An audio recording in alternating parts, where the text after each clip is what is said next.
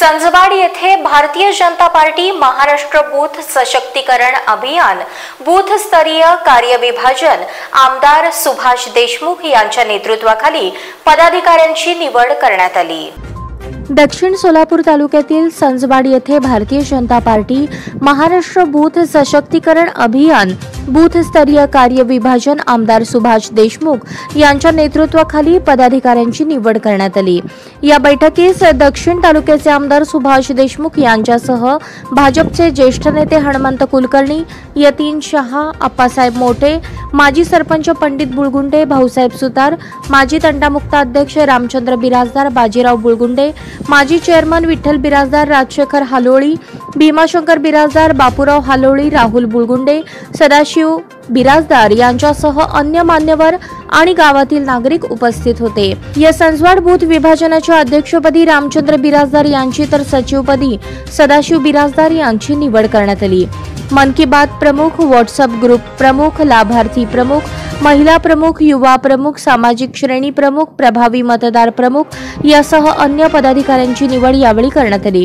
प्रत्येक नागरिकाला केंद्राचे आणि राज्याच्या योजनेचा लाभ मिळावा आणि राष्ट्र वैभवशाली करण्याची भाजपची जबाबदारी आहे भाजपची माणसे जोडली पाहिजेत या उद्देशाने या बूथस्तरीय कार्यविभाजनाचे नियोजन करण्यात आल्याचे यावेळी तालुक्याचे आमदार सुभाष देशमुख यांनी सांगितले.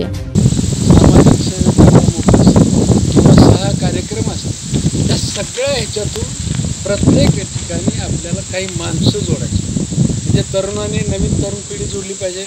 महिलांनी नवीन नवीन भाजपमध्ये जोडले पाहिजेत.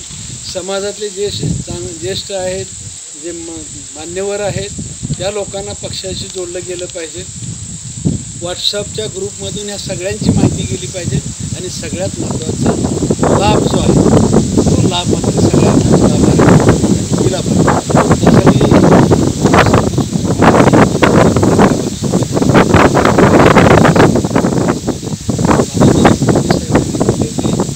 म्हणजे योजना. खूप छोट्या प्रमाणामध्ये काही ठराविक एक पत्रक दिलेलं आहे. आणि माननीय देवेंद्र फडणवीस यांनी यावर्षीच्या अंदाजपत्रकामध्ये काय योजना करणार आहेत त्याची माहिती छोट्या पुस्तिकामध्ये म्हणजे या निमित्तानं आपल्या सगळ्यांना विनंती आहे आपल्या. हे पु छोटी पुस्तिका वाचा. महाराष्ट्र सरकारचं काय आहे?